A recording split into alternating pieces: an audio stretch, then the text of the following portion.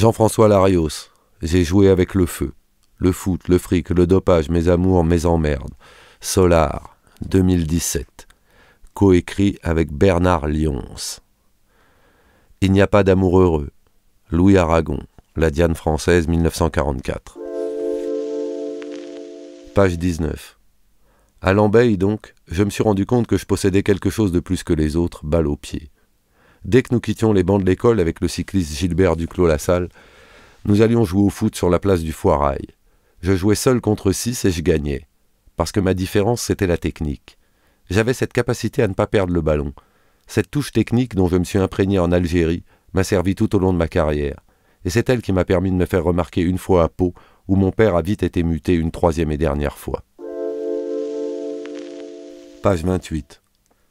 Mon premier déplacement en professionnel, je l'effectue en autocar jusqu'à l'aéroport de Lyon-Satolas, puis en avion pour gagner Tunis après une escale à Marseille. C'est là, à l'aéroport de Marignane, que je me surprends à signer mes premiers autographes. Et c'est à Tunis que j'ai disputé mon premier match en professionnel avec les Verts, au poste d'ailier gauche et avec Robert Herbin comme équipier. Inutile de vous dire le trac que j'avais. Il s'est dissipé en arrivant au stade quand les supporters se sont rués sur Guy Modeste, le père d'Anthony. Les Tunisiens étaient persuadés de voir Salif Keïta. Un autre incident retarde mes grands débuts d'une heure. Les dirigeants tunisiens se faisaient tirer l'oreille pour payer les nôtres. Garonner se montra alors inflexible. Pas de chèque, pas de match. Page 35. Janvion, le moineau et le félin. Si Marius Trésor est le plus grand libéraux que j'ai connu, Gérard Janvion reste le plus grand défenseur. À l'époque, Bertie Voxt était une référence parmi les latéraux. Il venait d'empêcher le grand Johan Cruyff de jouer lors de la finale de la Coupe du Monde 1974 entre la RFA et les Pays-Bas. 2-1 le 7 juillet 1974. Mais Doudou était encore plus fort que l'Allemand. Il avait été recruté comme attaquant, mais il a vite compris qu'il ne pourrait pas faire carrière avec sa frappe de moineau. Il s'est donc reconverti en défense, où il pouvait jouer partout.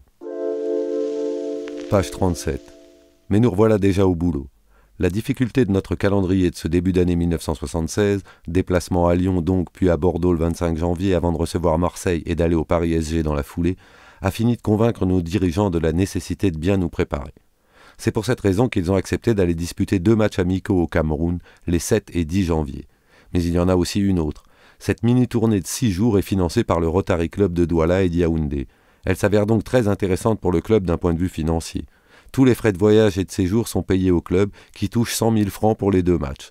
C'est pour ça que Saint-Étienne n'est pas la seule équipe française à avoir tenté l'aventure au-delà des mers en plein hiver. Marseille est parti en Côte d'Ivoire, Monaco en Tunisie et Reims en Guadeloupe, puis à Haïti. Page 50. Fin des débats. Ils ont duré seulement deux minutes.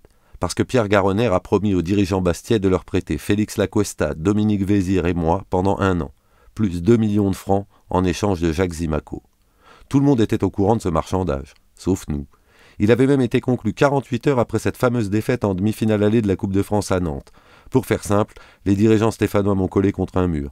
Dans ce cas-là, tu as deux solutions. Ou tu te fracasses contre, ou tu le franchis. Je suis allé à Bastia. Page 72. Mon père, fonctionnaire, se trouvait au téléphone en train de discuter avec un secrétaire d'État, André Bord, en passe de devenir le président du Racing Club de Strasbourg. Gilbert Grèce, pour qui j'avais beaucoup de respect, en était l'entraîneur depuis un an. Et il voulait que je signe en Alsace le Racing me proposait un salaire mensuel de 40 000 francs à 21 ans. Je ne savais pas comment faire. Mon père non plus. Mais Roger Rocher, si. Il a refusé que je m'en aille. Pour me convaincre, il a passé mon salaire à 25 000 francs par mois. À titre de comparaison, je gagnais alors 1500 francs mensuels en 1973, alors que mon père percevait 1200 francs de l'administration des ponts et chaussées. Et je touchais 10 000 francs à Bastia. C'est dire si désormais j'allais jouer avec un tout autre statut d'autant plus que le 7 octobre 1978, je deviens international à Luxembourg. Page 75. Saramagna, ce mulet. Mes deux dernières saisons réussies m'ont permis d'acquérir une petite notoriété au-delà des Pyrénées, si bien que le FC Barcelone s'intéresse à moi. Un agent espagnol qui connaît alors Christian Saramagna vint à la pêche aux informations au téléphone, et ce mulet de basque, Saramagna est natif de Bayonne, l'a envoyé bouler. Page 78. Rep le mercenaire. Bien qu'il soit mon aîné de 5 ans, je m'étais bien entendu avec Johnny Rep lors de ma saison passée à Bastia. Quand j'ai su qu'il avait signé chez les Verts à compter de la saison 1979-1980, je suis moi-même allé le chercher à l'aéroport. Il a débarqué de l'avion avec une mallette noire. Il l'a ouverte devant moi et il m'a dit Regarde. Elle était remplie de billets de 500 francs. Et Johnny était content. Il venait de toucher sa prime à la signature. Les Néerlandais étaient tous des mercenaires du football. Johnny ne manquait pas à la règle. Mais à la différence de Johan Niskens, il n'était pas protégé par Johan Cruyff. Les deux hommes qui avaient disputé la finale de la Coupe du Monde 1974 avec Niskens ne s'aimaient pas. Johnny ne m'a jamais dit pourquoi, mais il existait un différent entre Cruyff et lui. C'était comme ça. Voilà tout. Page 80. Après le match, nous sommes partis fêter notre victoire au Whisky, un établissement nocturne de Saint-Étienne. Les joueurs polonais s'y trouvaient déjà. Je croise Bignou Boniek, qui sera le futur équipier de Platini à la Juventus de Turin trois ans plus tard. On boit un verre ensemble et il me lâche entre deux gorgées Toi, très très grand joueur. Page 82. Nous revoilà donc en Côte d'Ivoire, un an après, où nous avons un titre international à défendre, en ce début d'année 1980. Mais avant cela, nous avons de nouveau commencé notre tournée d'hiver en Afrique par un séjour à Libreville, et c'est là que nous sommes tombés nez à nez avec Bob Marley. Pascaline Bongo, la fille d'Omar Bongo, le dictateur du Gabon, était sa maîtresse depuis leur rencontre en marge de l'un de ses concerts à New York un an auparavant. Elle avait réussi à convaincre Bob Marley de venir donner un concert au Gabon pour l'anniversaire de son père. Le roi du reggae devait jouer la veille de notre match, mais le concert prévu en plein air était tombé à l'eau, c'est le cas de le dire, à cause d'un violent orage. Bob Marley et ses musiciens avaient alors dû se contenter de passer la soirée à l'hôtel. C'est là qu'on les a vus, après le dîner. Ils avaient tellement fumé de joint qu'ils étaient tous défoncés mais ils nous ont quand même expliqué que leur concert était reporté au lendemain à 11h du matin, vu qu'ils devaient repartir le soir même.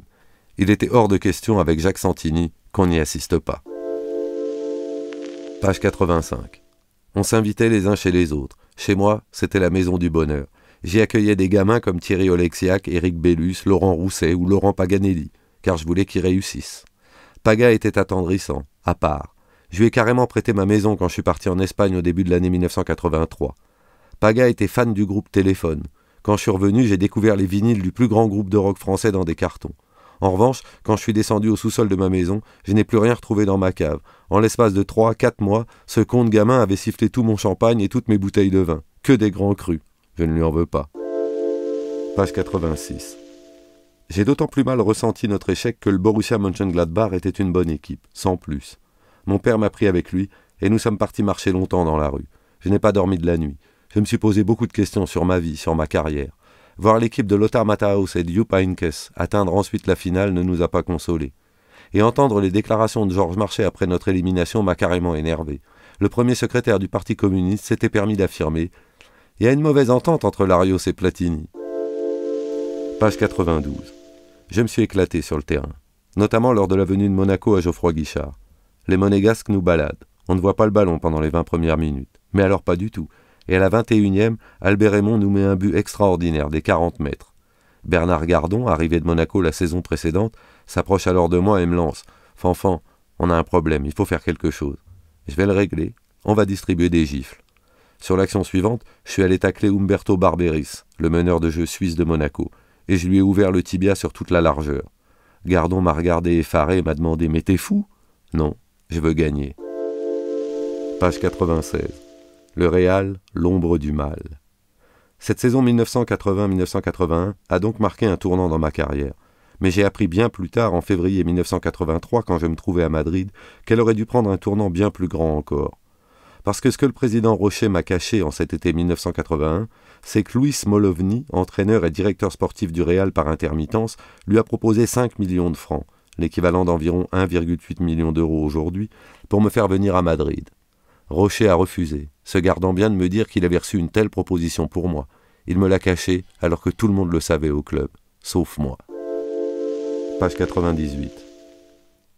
C'est Rocher qui a ensuite tout balancé à la justice une fois qu'il a compris qu'il ne pourrait plus redevenir président. Ayant perdu la présidence, il a envoyé tout le monde par le fond. Je me serais d'autant moins risqué à dénoncer la caisse noire que c'est moi qui en ai bénéficié le plus. Son fonctionnement se révélait très simple. Le club utilisait une double comptabilité pour payer les joueurs. Une partie figurait normalement sur notre fiche de paye, quant à l'autre partie, tu l'as touchée en liquide après avoir signé un reçu occulte au club. En résumé, je gagnais alors 1,5 million de francs par an, l'équivalent d'environ 500 000 euros d'aujourd'hui, la moitié en salaire, l'autre au black, qui provenait des recettes des buvettes du stade et du merchandising naissant mais déjà florissant. Page 114. Yeux bleus. Près de 40 ans sont écoulés depuis, mais je me souviens encore parfaitement de ma première rencontre avec Yeux bleus. C'était un banal soir d'avril 1980, soit neuf mois après son arrivée à Saint-Étienne. Pierre Repellini et sa femme avaient invité tous les joueurs à dîner chez eux. À l'époque, il n'y avait rien à Saint-Étienne. Les joueurs vivaient entre eux presque en basse clos. Et quand nous sortions ensemble, c'était pour fêter les victoires d'après-match. Le reste du temps, c'était du football-football. L'un de mes coéquipiers est venu avec elle, son épouse que je ne connaissais pas, et moi avec Annie, la femme avec qui je vivais depuis un an et demi. Je ne comprends toujours pas ce qui s'est passé ce soir-là. Comment expliquer un banal regard entre deux personnes? Comment traduire un message transversal de cerveau à cerveau? En fait, c'est simple, il n'y a pas d'explication. Si ce n'est que je l'ai vue et qu'elle m'a vu. On s'est regardé, on s'est caressé du bout des yeux, et ça a été un coup de foudre. C'est comme si soudain un rayon de lumière venait de transpercer ma vie. Qu'est-ce qu'elle était belle, yeux bleus, et quelle catastrophe pour moi. Son mari, c'était Michel Platini, mon pote, en équipe de France. Je voulais qu'il quitte son club et qu'il me rejoigne à Saint-Étienne. C'est ce qu'il a fait fin mai, début juin 1979. Quand on a les yeux qui craquent, est-ce que le cœur et le corps craquent aussi? Oui, bien sûr. On est tombé dans un amour platonique. Pendant un jour. C'était déjà beaucoup. J'avais rencontré Annie au Canet Plage en mars 1978. Elle était serveuse au Tiffany, une grande discothèque branchée. Elle avait des yeux verts magnifiques et un physique sympa. Elle était également dotée d'un accent catalan pourri et d'une grande gentillesse. Nous nous sommes revus en juillet de la même année. En septembre, elle venait vivre avec moi à Saint-Étienne. Cela faisait donc plus d'un an et demi que nous étions ensemble quand j'ai rencontré Yeux Bleus. Je me suis mis à vivre une double vie. Mais je n'ai bientôt plus pu supporter cette situation. Il fallait que je mente à la mère de mon fils. Elle sentait ou elle savait que quelque chose ne tournait plus rond avec moi. Un soir de la fin de cette année 1980, je lui ai carrément avoué. Et Annie est retournée vivre à Perpignan avec notre fils.